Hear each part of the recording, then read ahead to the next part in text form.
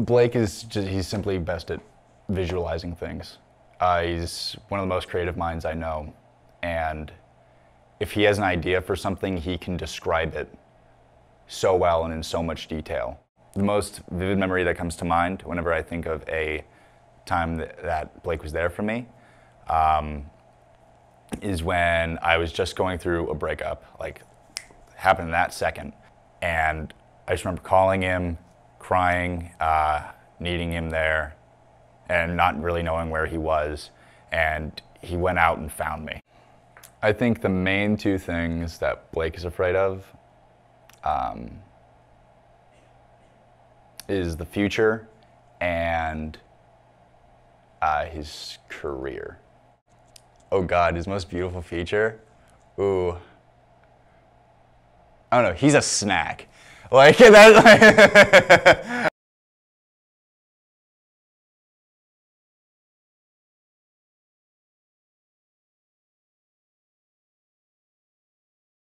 He was there, so my second semester sophomore year, which was last spring semester, um, had a lot of stuff just happening.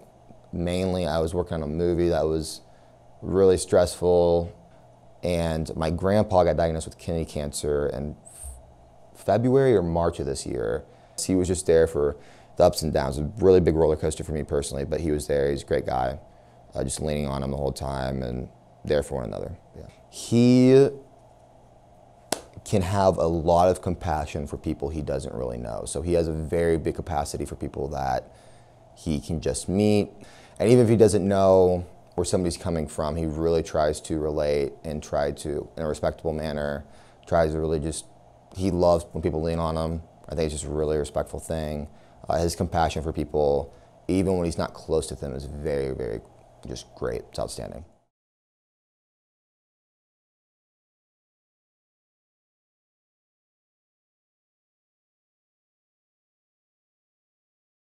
It's just like the way he is with me.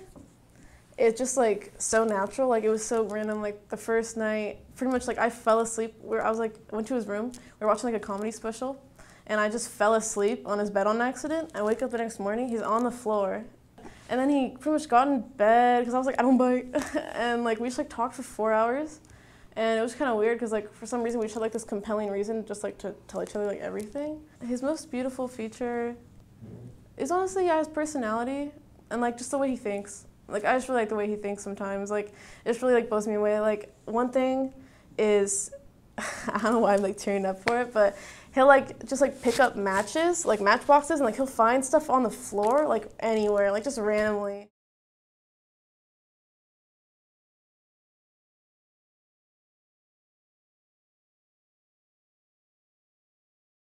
Um, I feel like our relationship works really well, and like, like I said earlier, like um, she's like, like yin and yang. Like she like gives me those traits that like maybe I don't have, and she like teaches me how to be a better person. Like, and, like I help her with other stuff, and like I don't know, it's just like a good relationship that I feel like will last long.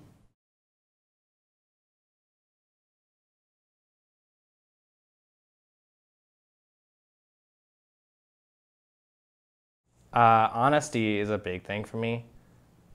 Um, I appreciate it. Like she will tell me what's on her mind, um, especially when it comes to like when we're both really busy with school and work.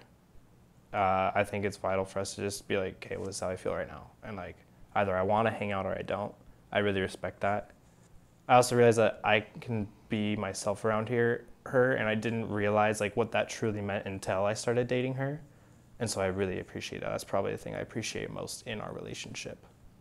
Like the most beautiful aspect about her is that like I know she trusts me because I I'm a little more like abstract with how I express myself and it's been really hard for me to like show like share my feelings with other people and like have them fully understand. But because she trusts me, I know she understands like when if I need to do something like I need to do this and that's like really beautiful to me because it means like I'm giving and like she's giving into this relationship and we're making it work.